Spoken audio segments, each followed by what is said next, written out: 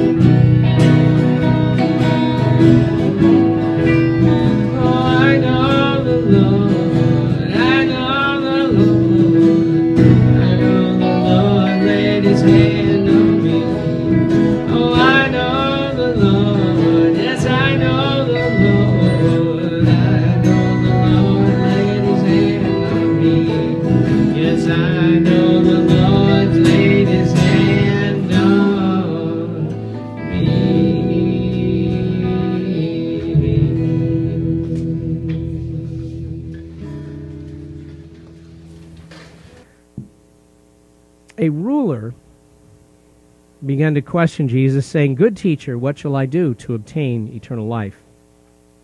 Jesus said to him, Why do you call me good? No one is good except God alone. You know the commandments do not commit adultery, do not murder, do not steal, do not bear false witness, honor father and mother. The man answered, I've done all these things and kept them from my youth. When Jesus heard this, he said, there's one thing you still lack. Sell all that you possess, distribute it among the poor, and you shall have treasure in heaven. Then come follow me. When the man heard this, he became very sad, for he was extremely wealthy. Jesus looked at him and said, How hard it is for the wealthy to enter the kingdom of God.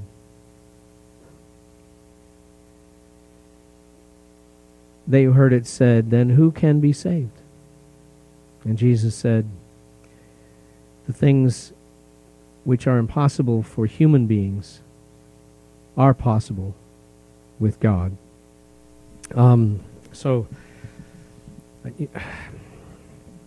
last week, if you remember, if you were here, uh, I was sort of preaching about the, the way in which when two stories get stuck together, clippings, I use the word clippings, like newspaper clippings, because that's actually the word we use in, in, um, in when we're talking about this stuff. We use a word that basically means clippings.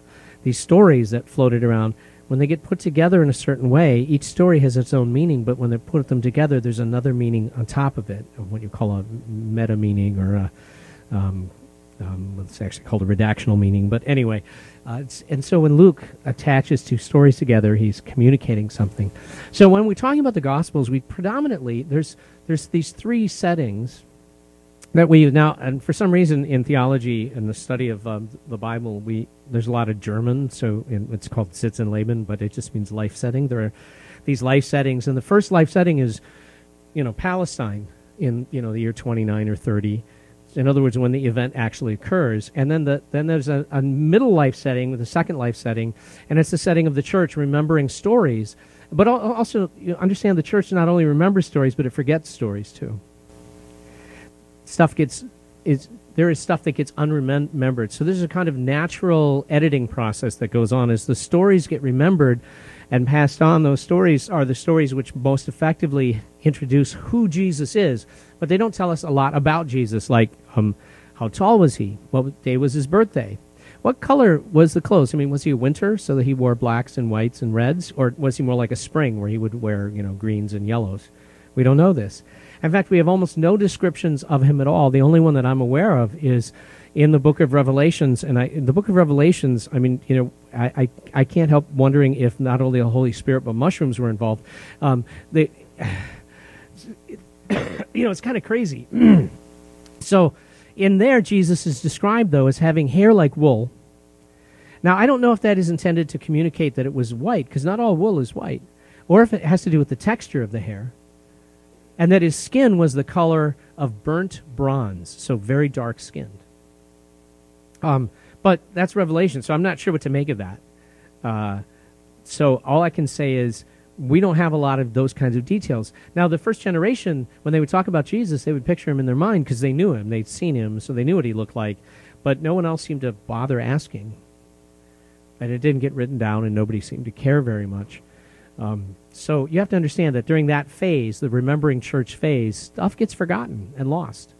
And some of it would be very interesting to us now, but in terms of the church itself, the church didn't think it was important to remember those things, uh, in part because the first generation knew them and they were just like the, and uh, and they were interested in introducing the who, not the what about Jesus, the who he is. Now you come to the third setting, and that's where it gets written down in the Gospels. So the process of writing it down in the Gospels is a, is a its own kind of like what order do you put things in? Where do you put things? How do you tell the story? What changes do you make? And so in that place, we see the hand of the writer. We see their hand at work. And when we compare the three, Matthew, Mark, and Luke, we can sometimes really see their hand at work.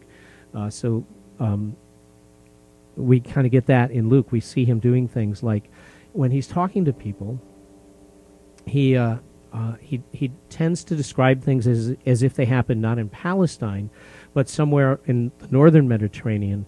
So he describes the architecture, houses not as being flat roofed and sort of built the way they are in Palestine, but instead being um, tile roofed houses.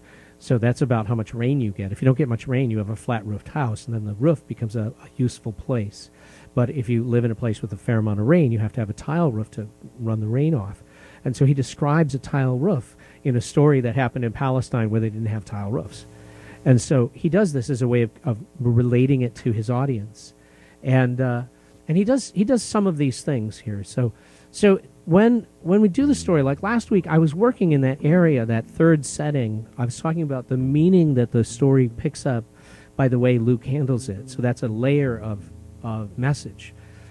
But today I want to really talk about the story in its first setting. In other words, here's this guy who comes to Jesus, and we have a we can easily miss what's going on here uh, because because we're kind of like this guy in that we have a lot of stuff, and we can't getting rid of our stuff is really hard. Have you ever tried to get rid of your stuff? You ever just say, "I'm going to get rid of my stuff," and then you like throw it out or give it to Goodwill, and it's really a struggle. Like, ah, it's my stuff. I don't want to. And then, of course, as soon as you get rid of your stuff, then you have to replace it with new stuff. But for a lot of people, stuff is you have to store your stuff because you don't want to get rid of your stuff. So, you know, while there could be people who could use your stuff, you need to hold on to it. So here we are with what? We've got our uh, we've got garages, and so you take the car, which is maybe your most expensive asset, and you park it on the street or in the driveway, and you fill your garage with junk that's not worth half of what your car is worth, right? or or we we rent, we we pay rent to store stuff that we're not using and are never going to use again that someone else could be using, but they're not going to use it either because we're storing it. So this is how we are with our stuff. So we read the story and we think to ourselves, yeah, that could be me. But we we miss that. We miss a layer that lies underneath here. And so I got to get you to that layer. And the clue for us is the reaction of the disciples when Jesus makes that comment how hard it is for the rich to enter the kingdom of heaven. Now, I should mention that um, uh, if, if you read it in your Bible, you may run across the following phrase that comes afterwards. It is harder for a rich person to enter the kingdom of heaven than for a camel to pass through the eye of a needle. Um, but uh, some translations include that in Luke, but it's probably not part of the original in Luke. And the reason is that's a, that's a geographical focus that refers to a gate in Jerusalem. And so if you weren't familiar with Jerusalem, that wouldn't mean anything you'd kind of lose the sense of it. And so it apparently Luke left it out originally, but it got added back in because everyone knew the story so well that you had to put it back in. So, but the thing you have to get at is the reaction of the disciples. Well, who can be saved then? Now, why are they so surprised by this? What is it? I mean, they must all the time have people coming up to Jesus and talking to him about eternity. He's always talking about eternal life. And suddenly they're going, well, who can be saved? If the rich guy can't be saved, who can be saved? Why would they even ask that question? The reason is, in the ancient world, and interestingly enough in America, um, there is an assumption that wealth is a sign of God's favor. Right? And if you're poor, there's something wrong with you. God doesn't like you. You're cursed. You're, you're accursed you're, and it's your fault. And somehow it's God and you. I mean, the reason you're poor is because there's something wrong with you spiritually, and so you're poor. And so, in, even in our culture, we have this idea that wealth is, a, is proof of God's favor and that poverty is proof of God's judgment. And that's why it's so easy for us in our country to criticize poor people. Now, I've known a lot of poor people. And there are some poor people who, you know, because the poor people we always like to talk about are the ones who, you know, they could work, but they don't, right? They need to learn the word work. Okay, so I've known some people like that. I mean, I've literally known people who you can you can you know lead a horse to water, but you can't make him drink. I mean, you know, I, I knew a guy who had a situation. I knew a situation. He talks to me about a situation. Here's my situation. I said, okay, let me see if I can help you. I got him a job that perfectly solved his problem. I mean, was unreal. Was exactly everything that he could possibly want in a job. He lasted less than a. Did he even last a week? I'm not sure. Right? So here's a guy who doesn't want to work. He wants his problem solved, but he doesn't want to work. So we talk about that guy and we go, eh, you got a problem there. But I have known a lot of people who are poor for a whole lot of other reasons, like mental illness, undiagnosed often, or certainly untreated, so that they can't work. I mean, I know people who come to me and say, I want a job. And I'm thinking to myself, you can't take a job. If you got a job, you won't keep it. You won't be able to keep that job for more than a, a, a couple of months. And then they're going to fire you because you're mentally ill. And that's just going to come out. And I see that. I see that. And so a person like that will always be poor, right?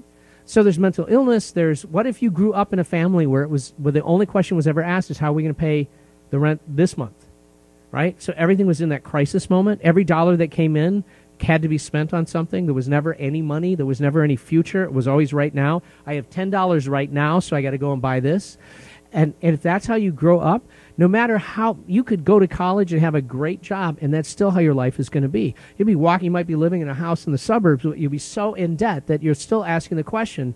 I mean, you're really actually poor. It just looks like you've got a lot. And you're asking the question, how am I going to pay the light bill this month? And it's just crisis to crisis to crisis to crisis. And so I, you know, I've known poor people, all kinds of poor people. It, it's not that God hates them. And I've known rich people too who are complete jerks and clearly don't have any room in their life for God. So even though in our country, like in ancient Israel, there was this idea that if you were wealthy, that somehow you were more spiritual by virtue of being wealthy, that's simply not the case. It's just not that way. I should tell you the early Christians were actually fairly anti-wealth. It's troubling to me because I have I, I'm yeah. I have stuff that I don't want to get rid of. Um, but the early Christians were anti, fairly anti wealth, or I should say anti accumulation of wealth. They were very much about giving it away, not holding on to it, having treasure in heaven, not, not trying to build a, a treasury on earth. How many times does Jesus say, Store your heaven, your treasures in heaven, where moth cannot rust, where thief cannot steal. Right? This is a this is how Christians thought.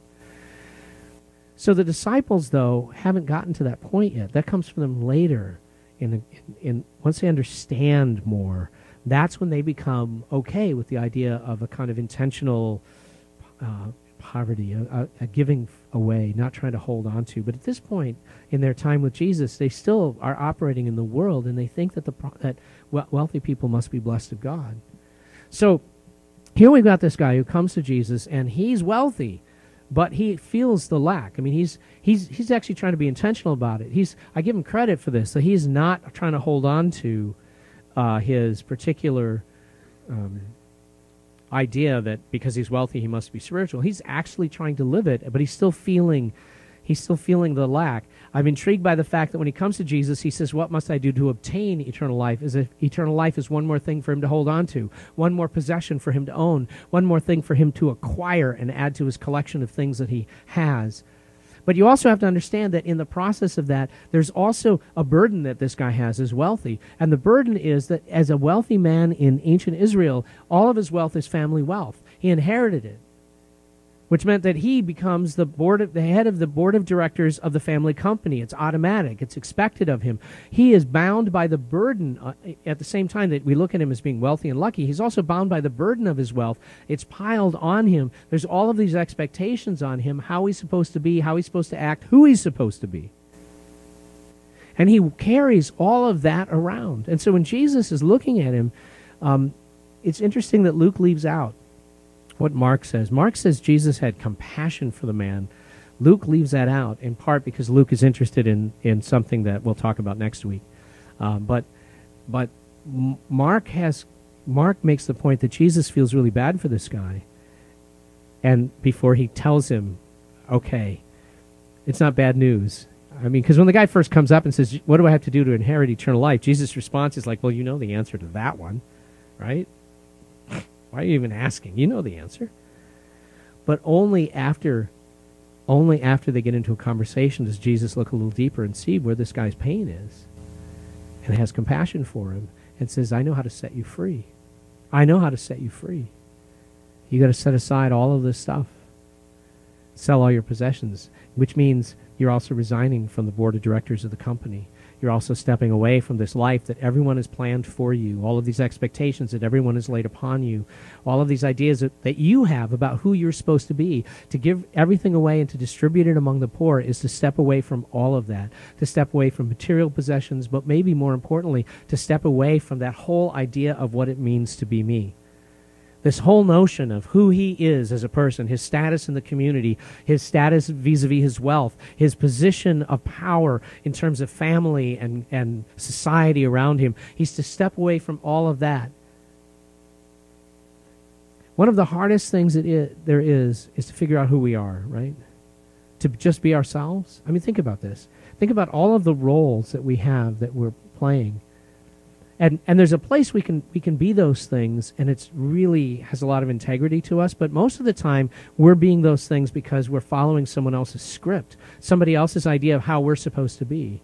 So we not only have all this accumulation of wealth but we're also playing this kind of game that's been laid on us all of the expectations. It is hard to let go of your stuff but it is even harder to let go of who you think you are and who you think you're supposed to be and who everyone around you thinks you're supposed to be. To let it all go and to finally just follow Jesus. Can you find the prayer response? Let's pray that together. There is so much I hold on to, so many things, so many obligations, so many shoulds and have tos I feel bound by. I beat myself up with all I am supposed to do, all the unmet responsibilities I lay in my path, all the expectations I accept from those around me. Jesus, you are calling me to release and freedom, but it is so hard for me to relinquish all this stuff, to lay down who I think I am supposed to be, and simply follow you. In fact, sometimes it feels impossible but nothing is impossible for you. Help me, Lord Jesus, to just let it all go. Amen.